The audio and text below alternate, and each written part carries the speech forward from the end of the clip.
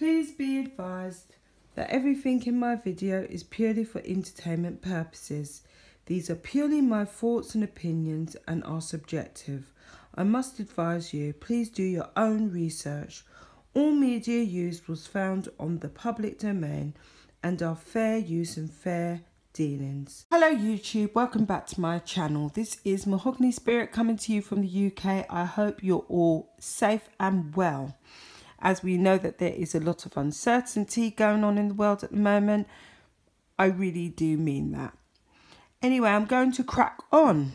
I'm going to be talking about Alexis Ohanian, Serena Williams' is husband today who has decided to step down from his gaming company. He's given up his seat and he wants to be replaced with a black candidate. He's spoken quite openly about this. He's talked about the racism he's witnessed his wife experiencing when they've been traveling around the world together. He said that she's obviously experienced covert racism to overt racism.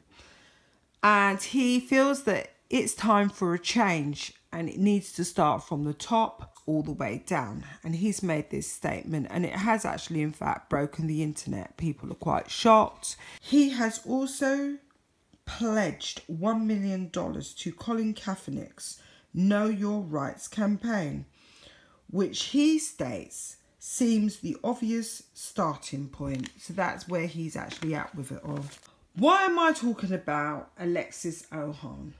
I'm actually talking about him because sure if everyone cast their mind back to last year, Meghan Markle attended quite a few tournaments in which Serena Williams was competing in. She attended both of the final tournament and for the US Open. And if we can all recall, Serena Williams did actually lose. When she attended the US Open, she was asked by Serena Williams' trainer not to attend because he felt it would be distracting. But yet she still attended. There were awkward images of Meghan Markle seated with the Williams families and Alexis Ohanian, Serena's husband, her trying to talk to Oracene, Serena's mother, and Oracene just simply not even acknowledging her whatsoever. I honestly felt that Serena felt overshadowed by Meghan Markle's presence, and I think she felt some kind of way about it. Although she never directly said it, subsequently she has made slight little pops and jives at Meghan Markle. She did actually state that she was surprised Meghan did actually attend the match, considering her son Archie was so young. I think Archie was about six weeks old when Meghan left him to attend the US Open. And then we have this strange release coming from Alexis Ohanian himself when he kind of suggested, I'm not going to read all of it and I'm not going to read it out because I am going to actually put it in the video link. Some will hit their inevitable ceiling early but others will actually continue to thrive. And I'm not going to read the, the top end of that because, I, like I said, I will actually be posting it in the video. I'm going to insert it into the video so you'll be able to actually um, read it for yourself and take of it what you will. It just all seemed slightly uncomfortable because Meghan Markle does not really have many black friends, although she's made this surprise speech to her class of 2020 alumni, talking about their future in the world and how she's hopeful for them and excited about what they will actually do. She did spend five minutes actually talking about her own experiences, and in doing that, she actually did reveal her age. She revealed that she is around about 43, 44. I've got nothing against women's age, you know, I'm not ageist, but why lie? It's just all a bit bizarre. Since then, Meghan has been keeping close tabs with Black Lives Matters. She and Harry want to be fully informed of what's going on. They want details of what's going on with regards to police brutality. Because I feel that Meghan and Harry, at this point, they're actually scrambling for ideas. They had lined up a roster of things to do when they decided to quit the royal family. They had the 3D Washington, or should I say, Meghan had the 3D Washington film that she had in the pipelines going on. There was the public speaking, which she would have been doing with JP Morgan, which is now down the tubes. And there was apparently a second booking with Disney, which is no, no longer going to take place because the first Disney appearance didn't really go down a storm. So they are really scrambling for things to do. You've also got to take into account we have the book written by Omid Scobie, The Finding Freedom, and we have the documentary that Oprah will be doing with Harry. So that is kind of like all up in the air at the moment due to the COVID and now these race riots. What I find so hypocritical about Meghan Markle and Harry, but especially Meghan, is that throughout the duration of her whole career, she has never once spoken about black issues until she landed in the UK. She's never really spoken about black issues and it's never really been a major topic. Yes, she's always talked about female empowerment and she's always talked about women's rights, but she's never really spoken up about her ethnicity until she actually married into the royal family.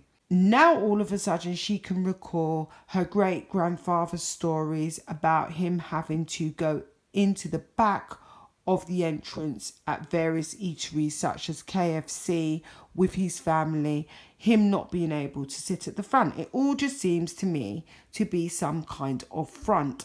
And it just appears to be that Meghan is literally using the topics of the day for clout to keep her at the forefront and to give her some kind of clout in LA and also favour worldwide and globally. And it's just a farce. It's all hypocrisy because we all know that for years she has lived as a Caucasian woman and she has literally worn the Caucasian badge. Now, me personally, I've got nothing against that. I am biracial myself. I do consider myself to be a black woman, but then I've always lived in that narrative. I've never really lived in any other. My mum and father always raised me to believe that if you're not white, you are black. And that's how I was raised. So for me, it's not a case of jumping on the bandwagon. I have not gone out and demonstrated because I feel my life matters all the time. And those that know me know that. So I don't need to go out into the street and start demonstrating. I feel that human life matters. That's my personal opinion. But with Meghan Markle, it feels like she's just jumped on this gravy train. She's making all these noises about Black Lives Matter. She's suddenly talking about her history. And she seems to have completely blotted out her father, who raised her and gave her the support when her mother was not around to do so. She doesn't really talk about what actually happened with her mother. And yet, when she did get married, we did not see one black relative other than Doria, quite honestly, at the wedding. She does have other black relatives. We did not see them attend that wedding. None of them spoke out. Why wasn't they invited? It's all just very hypocritical. Like I say, this woman is full of hypocrisies. Nothing is genuine. And I feel that Serena Williams felt slighted. I feel that she felt overshadowed. She felt disrespected. And I really do feel she felt used by Meghan Markle. And as a result of this, the couple have taken a few pops. It looks like Serena's husband, Alexis, may be edging his way forward to some kind of political seat. Maybe he wants to have some kind of political platform. I'm not actually sure, but I really don't feel that he has just suddenly jumped on the bandwagon. I really do think that he is actually filled with some kind of integrity. But as for Meghan Markle, I really think that she needs to drop this whole black hat because she's never actually worn the black hat before. She has put herself down on numerous occasions as Caucasian, has only dated and married white men. And that's the side of the fence she's chosen to straddle. She's married into a family which has a colonial history and past. And I really do struggle with this whole narrative of she was a victim in the UK. She left the UK under that kind of guise. I think it's wrong.